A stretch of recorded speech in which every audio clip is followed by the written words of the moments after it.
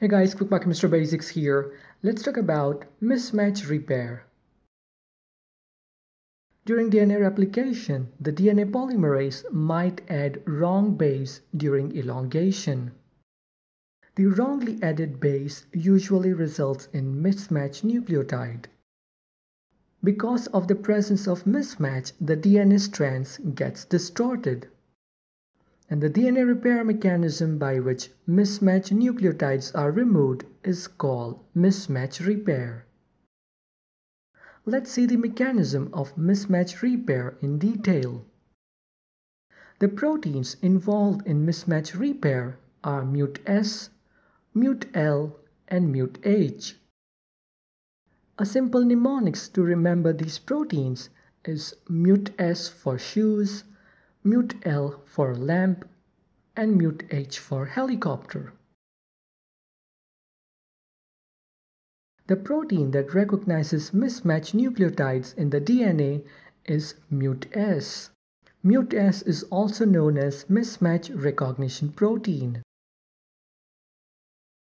The MUT-S protein functions as a dimer and identifies the mismatch in the DNA. In the next step, MUT-L dimer binds MUT-S protein. Next, MUT-H protein binds MUT-S MUT-L complex. Now let's take a pause and try to recall a one very important point of DNA replication.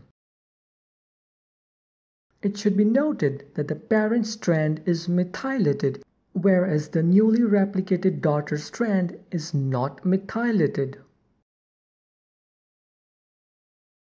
Usually, adenine at GATC sequence in the parent strand is methylated.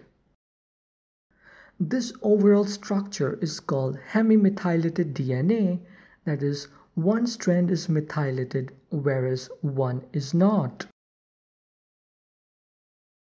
The enzymes involved in mismatch repair can recognize the methylated and unmethylated strands. This means they can actually recognize the parent and the daughter strand. Now let's come back to mismatch repair mechanism. The MUT-H protein acts as a type 2 endonuclease. Once bound, the endonuclease activity is activated by MUT-L. The MUT-H searches for the nearest GATC sequence with methylated adenine. During this search, the DNA is usually looped out. Once the GATC sequence is identified, the MUT-H protein cleaves at the daughter strand. In the next step, UVRD, which is also known as helicase 2, unwinds the cleaved strand. The unwinded strand is usually removed and cleaved by exonuclease enzyme.